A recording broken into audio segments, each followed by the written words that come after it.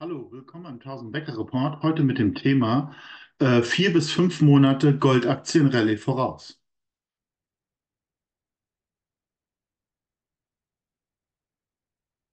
Disclaimer.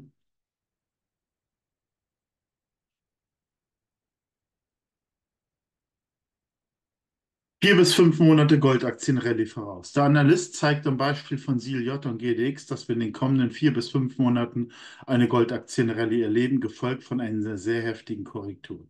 Diese Aussage stimmt mit unserer Ansicht überein, weshalb wir davon ausgehen, dass in den kommenden Wochen bereits der Einstieg in extrem unterbewertete Penny-Stocks nur noch mit fünf bis zehnfachen höherem Preis möglich sein könnte und wir kaum noch empfehlen können, in diesen Markt einzusteigen, sondern auch noch auf den Ausstieg konzentrieren.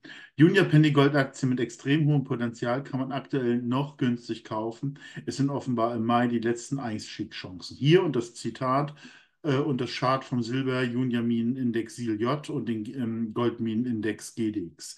Ich bin da, ähm, hier das Zitat, ich bin davon überzeugt, äh, dass uns vier bis fünf Monate reine Aufwärtsbewegung bevorstellen, bevor es zu einer sehr heftigen Korrektur äh, bei den Bergbauunternehmen kommt. Die Euphorie wird spürbar sein. Ja, und es heißt ja auch, äh, kaufe den Pessimismus und äh, äh, verkaufe die Euphorie sozusagen. Und das könnte eben wirklich in vier bis fünf Monaten sein. Und Sie haben an, einigen Anstiegen schon gesehen, wie dramatisch schnell äh, es zu Anstiegen hier bei Gold, äh, äh, Gold- und Silberaktien kommen kann. Wir haben, wie gesagt, seit äh, November schon einige fünf bis Tenbecke, das hat sich eben am 1. März nochmal beschleunigt.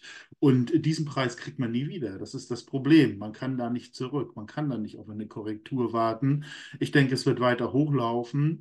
Äh, noch sind sie günstig, äh, aber viele haben sich eben auch schon, man muss teilweise schon doppelte Preise hinlegen, das natürlich durchaus problematisch ist. Äh, dennoch besteht natürlich die Chance äh, auf der breiten Basis immer noch. Wir sind nahe das 50-Jahres-Tief, Goldaktien im Verhältnis zu Gold.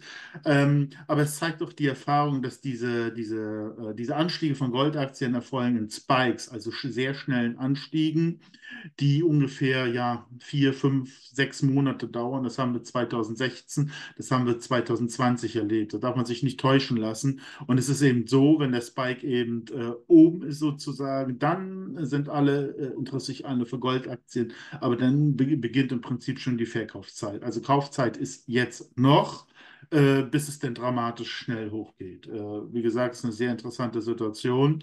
Die äh, Stimmung beginnt sich auch aufzuhellen. Trotzdem, sage ich mal, insgesamt von den Anlegern interessiert sich überhaupt kein Mensch dafür. Immer noch zieht, äh, ziehen die Kryptos mehr und was weiß ich was alles. Äh, und äh, trotzdem denke ich mal, äh, wird sich das rasend schnell verändern. Wir können möglicherweise in äh, einem Monat schon eine komplett andere Situation am Markt haben, dass riesige Kapitalmengen reinfliegen. Das weiß man nicht genau, wann das passiert, aber äh, es, es, sieht so aus und das kann, hält dann eben vielleicht ein knappes halbes Jahr, eben vier bis fünf Monate an. Dann sind wir in einer euphorischen Phase, dann wollen da eigentlich alle investieren und dann müssen wir das abstoßen. Ja, meiner Meinung nach sehr interessante Situation und auch nicht zu unterschätzen die Korrektur, die kommen könnte. Vermutlich natürlich ähm, geht das mit dem Aktienmarkt äh, sozusagen zusammen. Vermutlich wird er vier bis fünf Monate, also bis zur Wahl in den USA, nach oben gehalten. Das ist eigentlich immer zu beobachten, dass die gegenwärtige Administration äh, und die Notenbank dann quasi zusammenarbeiten und die wollen natürlich gute Stimmung äh, da machen. Was danach kommt, ist wirklich schwierig, ob ein Trump kommt oder, äh, oder die sich überhaupt nicht einigen können und auch das Ganze Richtung äh, ewiger Stagnation in den USA gehen können, was im Prinzip dann auch zum Abstieg des Imperiums führt und äh, den äh, Dollar in Schwierigkeiten bringt. So oder so äh, ist es einfach Goldzeit. Vermutlich eben steigt äh, Gold in Richtung 3000 Dollar bis Ende des Jahres und Silber Richtung über 50 auf alle Fälle. Also gigantische Chance. Und äh, im Vorfeld laufen eben diese Penny-Gold-Aktien jetzt hoch. Das konnten wir in der Vergangenheit sehen. Und ich denke mal, äh, in vier bis fünf Monaten ist der Anstieg dann erstmal vorbei.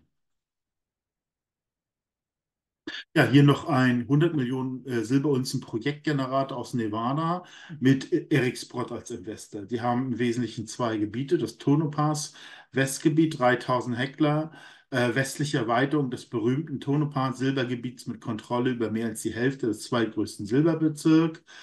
Ähm, man schätzt, äh, dass insgesamt ca. 100 Millionen Unzen äh, Silber da sind.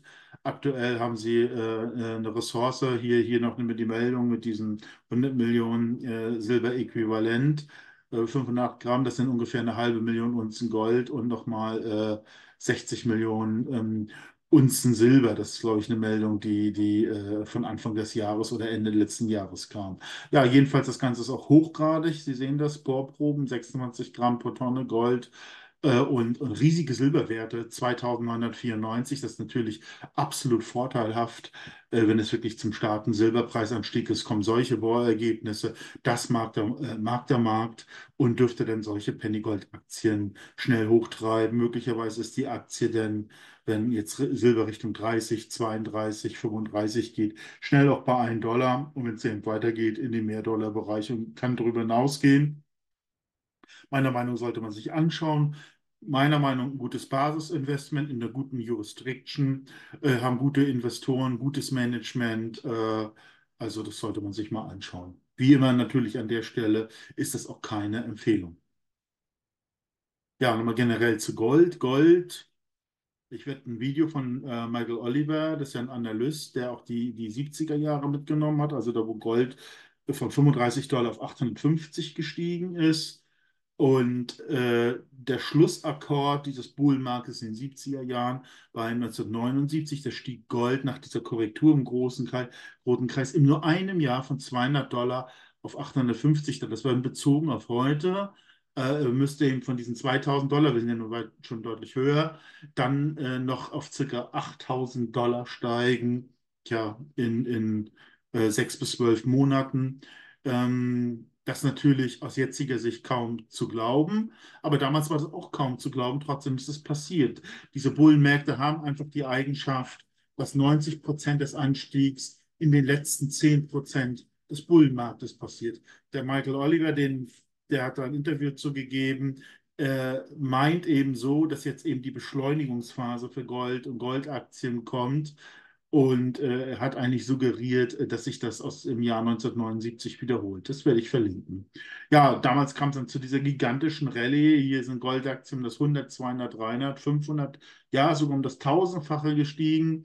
Äh, also nicht, also das heißt, aus 1000 Dollar konnte man 100, 200, 300, 500, 500.000 machen, wenn man diese völlig tiefen Werte ge äh, äh, gekauft hat. Ähm, ja, und diese Werte sind immer noch, das ist ja das Paradoxe, nahe, nahe des absoluten Alltime-Tief. Möglicherweise besteht eben diese Chance, die es eben damals gab, jetzt äh, auf sozusagen breiter Basis äh, noch immer. Also ähm, die Situation ist ziemlich einmalig und es könnte sich absolut äh, brutal entladen hier äh, in höhere Goldaktiennotierung, wo wirklich jeder von geschockt sein würde. Ich denke, genauso wird es kommen. Es wird absolut brachial hochgehen und die Leute werden nicht glauben, was passiert. So war es ja bei den Bullenmärkten anderen Bullen, Goldaktien-Bullenmärkten 2016, die aber dann eben gestoppt haben. Die gingen ja vom Januar bis August auch. Äh, nur diesmal glauben wir, dass diese Intensität dieses Goldaktien-Bullenmarkt wesentlich höher sein wird. Ja, äh, 1000 Becker Report. Wir versuchen diese Aktien zu identifizieren, nach verschiedenen Risikostufen zu ordnen, Potenzialfaktor zu rechnen.